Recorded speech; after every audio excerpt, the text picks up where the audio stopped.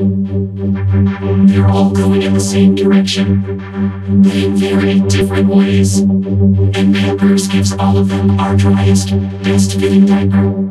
Pampers Cruisers with three-way fit.